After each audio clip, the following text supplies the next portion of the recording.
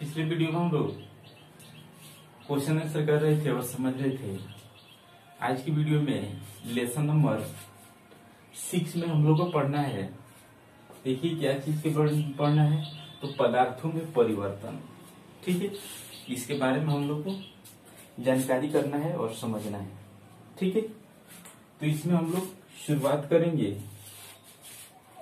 देखिए, सबसे पहले हम लोग पदार्थ के बारे में जानेंगे। या पहले भी लेसन में पदार्थ के बारे में हम लोग जान चुके हैं और समझ चुके हैं कि पदार्थ किसे कहते हैं। पदार्थ वैसा वस्तु है जो स्थान घेरता हो, जिसमें कुछ द्रव्यमान हो। उसे क्या बोलेंगे? तो उसे पदार्थ बोलेंगे। ठीक है? अब जो है, इसमें क्या दिए गए पदार्थों में परिवर्तन। ठीक है? पदार्थों में किस किस प्रकार परिवर्तन होता है, इसके बारे में हम लोग को जानना है, ठीक है? पदार्थों में परिवर्तन जो है, दो प्रकार से होता है, ठीक है? कौन कौन सा? एक होता है, भौतिक परिवर्तन। एक होता है भौतिक परिवर्तन और दूसरा होता है दूसरा होता है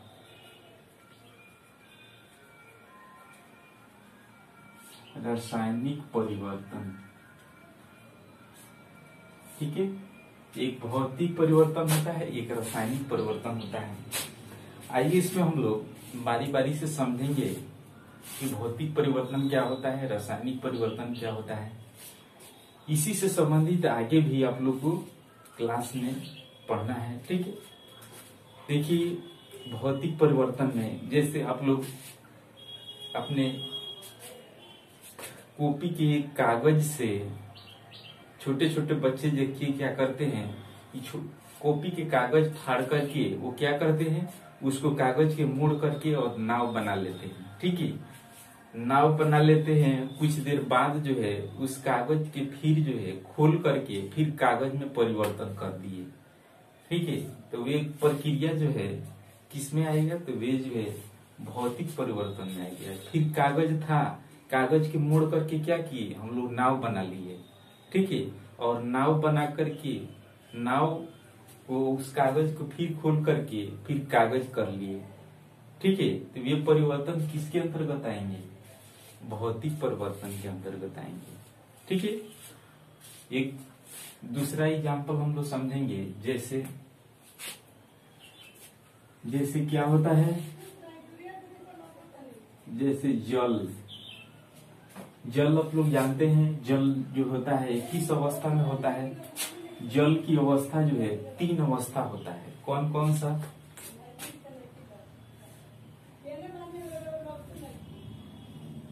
जल की तीन अवस्था होता है। ठोस द्रव और गैस। तीन अवस्था जल का होता है।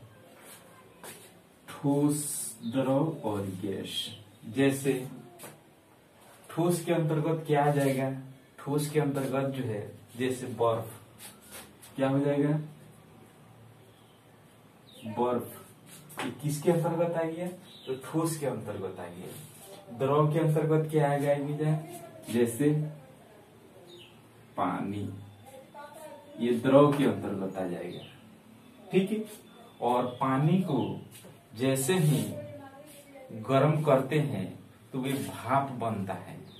वे भाप जो है, वो जो है, क्या होता है? गर्म होकर के ऊपर उड़ने लगता है। तो पानी वो किस रूप में? तो गैस के रूप में उत्पन्न हो गया ठीक है? तो जल की कितने अवस्थाएँ हैं? ठोस द्रव और गैस, यानी हम लिख सकते हैं भाप। ठीक है, जैसे ही आप, आपके घरों में जो है खाना बनता है तो चावल पकाने से पहले पानी को गर्म किया जाता है। देखिएगा कि पानी वो गर्म होता है तो क्या होता है? भाप बन के उड़ने लगता है। ठीक है? तो गैस के रूप में, ठीक है?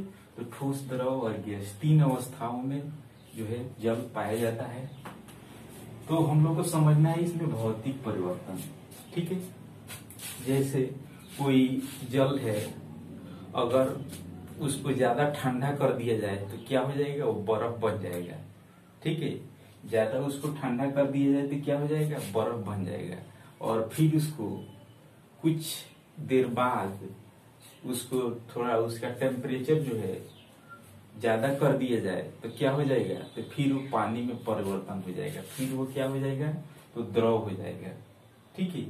पहले जो था, द्रव था, द्रव से क्या किए ठोस में परिवर्तन कर दिए, और ठोस से फिर जो है, क्या हो जाएगा? वो द्रव में परिवर्तन हो जाएगा। ये सब प्रक्रिया किसके अंतर्गत आएँगे?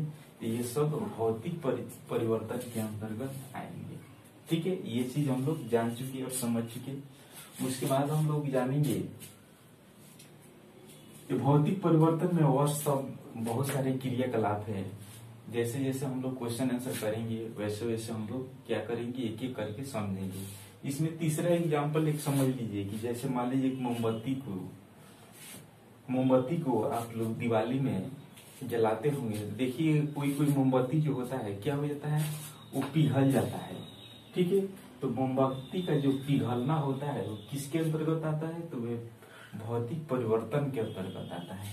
लेकिन वही पूछा जाए मोमबत्ती का जलना, जल करके क्या हो जाता है? खत्म हो जाता है। और मोमबत्ती के जलना, जब जलना पूछा जाए, तब क्या होगा? रासायनिक।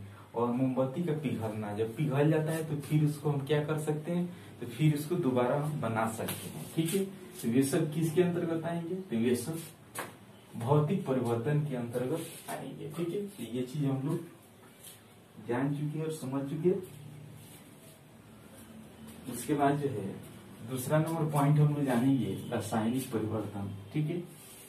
दूसरा नंबर क्या दिए गए है? रासायनिक परिवर्तन। इसके बारे में हम लोग जानेंगे और समझेंगे। उदाहरण द्वारा आपको बता दें। जैसे कोई कागज़ का जहाज़ अगर बनाना होगा तो कैसे बनाइएगा? कागज़ को जहाज़ बनाना होगा तो कागज़ को मोड़ करके उसको क्या करना पड़ेगा? काटना पड़ेगा। काट करके उसको जहाज़ के डिज़ाइन का उसका बनाना पड़ेगा। ठीक है? जब तक उसको काटेंगे नहीं, तब तक जो है, क्या कर सकते हैं? उड़ने वाला जो जहाज़ होता है, आकाश में जो उड़ता है, उसका डिज़ाइन अगर बनाना होगा तो क्या करना पड़ेगा? तो उसको काटना पड़ेगा। काट करके उसको क्या करेंगे? अच्छा पूर्वक बनाएँगे। क्या उस जहाज़ को फिर वैसे कागज़ में परिवर्तन कर सकते हैं? वैसा नहीं कर सकते हैं। ठीक है? तो वे सब किसके अंतर्गत आएँगे? वे सब जो है रासायनिक परिवर्तन के अंतर्गत आएँगे। ठीक है? वो कागज़ को काट दिए, फिर उसको जोड़ सकते हैं? नहीं कर सकते हैं। वो किसके अंतर्गत आएगा? तो ये सब जो है रासायनिक प्रक्रिया के अंतर रासायनिक परिवर्तन के अंतर्गत आएगा। जैसे दूसरा एग्ज़ाम्पल हम लोग समझेंगे, जैसे आप लोग के घर में जो खाना होता है, खाना जब ज़्यादा देर तक रख दिया जाता है तो अक्सर गर्मी में देखिएगा कि खराब हो जाता है। ठीक है, उस खाने से बदबू आने लगते हैं। ठीक है तो वह खाना जो खराब हो जाता है तो वे कैसा परिवर्तन है? तो भौतिकी की रासायनिक परिवर्तन है। ये भी जो है, रासायनिक परिवर्तन है। ठीक है? जब खराब हो गया तो खाना को हम दोबारा क्या कर सकते हैं? वो अच्छा नहीं कर सकते हैं। ठीक है? तो ये सब क्रियाकलाप किसके अंतर्गत आते हैं? रासायनिक परिवर्तन के जैसे। लोहे में जंग लग जाना। ठीक है? ये सब भी क्रियाकलाप किसके अंतर्गत आएँगे? तो ये सब रासायनिक परिवर्तन के अंतर्गत आएँगे, ठीक है? तो ये चीज़ हम लोग जान चुके और समझ चुके तो आज की वीडियो में इतना ही। इसके